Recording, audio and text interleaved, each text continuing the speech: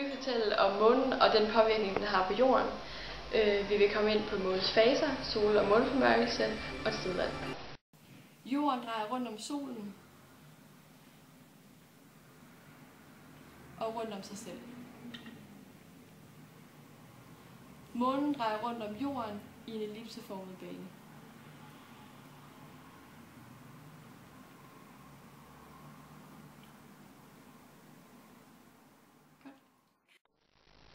Månens diameter er 2.748 km sammenlignet med jordens diameter på 12.756 km. Det vil altså sige, at jordens diameter er fire gange større end månens diameter. Månen bevæger sig ikke i en cirkelformet bane om jorden, men derimod mere en ellipseformet bane om jorden, med jorden som et af de to brændpunkter, som vi kan se her. Det er månens bane om jorden, og jorden er det ene af de to brændpunkter.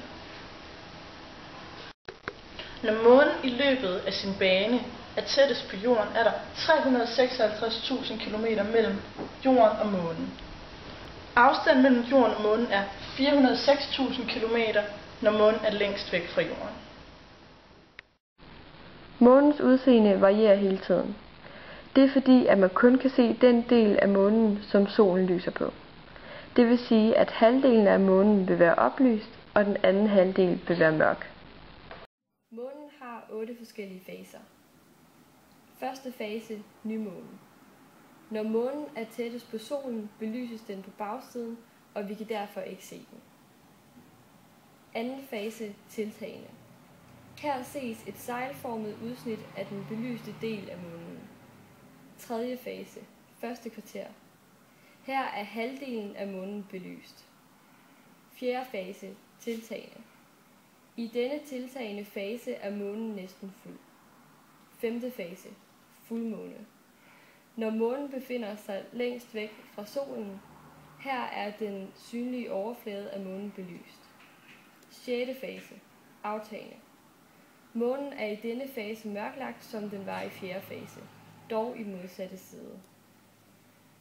7. fase, sidste kvarter. I det sidste kvarter er halvdelen af månen belyst. 8. fase, aftagende. Her er kun et udsnit af månen i form af et sejl, sejl belyst. Det er den sidste fase, inden månen når hele vejen rundt og bliver ny måne igen. Det tager månen ca. 27 døgn at komme igennem alle otte faser, altså cirka en måned. Vi står på jorden og kigger op mod solen. Sådan her forekommer solforværmelse.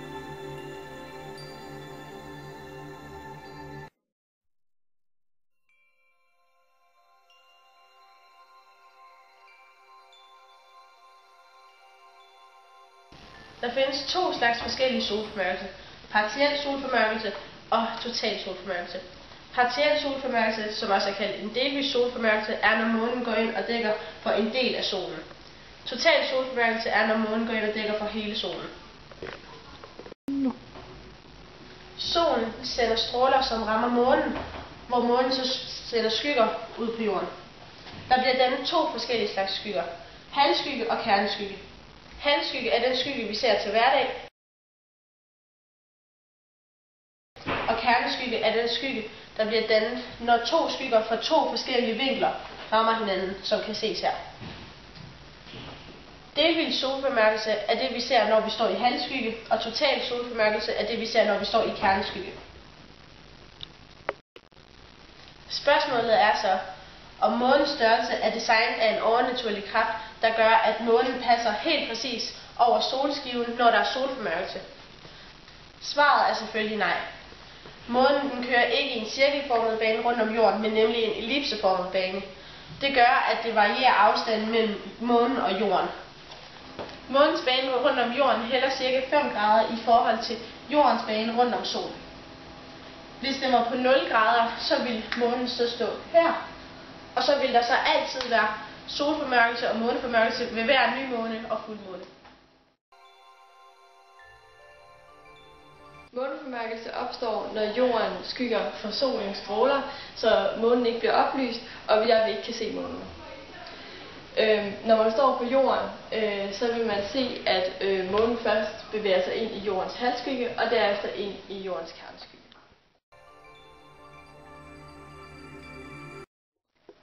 Hvordan skyld i tiderne? Ja, Tideren det er en regelmæssig veksel mellem høj og lave vandstand over en periode på nogle timer. Tideren det skyldes månen og delvis jordens tyngdekraft. Det man også kalder for kraftbalancen. Når månen trækker i havene, dannes der en slags bølger kaldet tidevandsbølger. Det er de her bølger eller frader af dem, der udgør tidevandet. Men månens tiltrækningskraft er forskellig alt efter, hvor tæt månen er på det pågældende hav. Månens tyngdekraft trækker altså vand i havene hen mod det punkt på jorden, der er nærmest månen. Det kan man se, når månen er her, så trækker det den vej. Når månen er her, trækker det den vej. Når månen er her, trækker det den vej. Det tidsrum, hvor i vandstanden den stiger, det kaldes for flod. Mens tidsrummet, vandstanden falder eller aftager, det kaldes for ebbe. Der findes to former for flod. Springflod og netflod. Ved springflod med enten fuldmåne eller nymåne trænger både solen og månen i havene. Ved nemflod med enten tiltagende eller aftagende måne trækker både sol og måne i vinkelrette retninger, og her er forskellen mellem flod og ebbe mindst.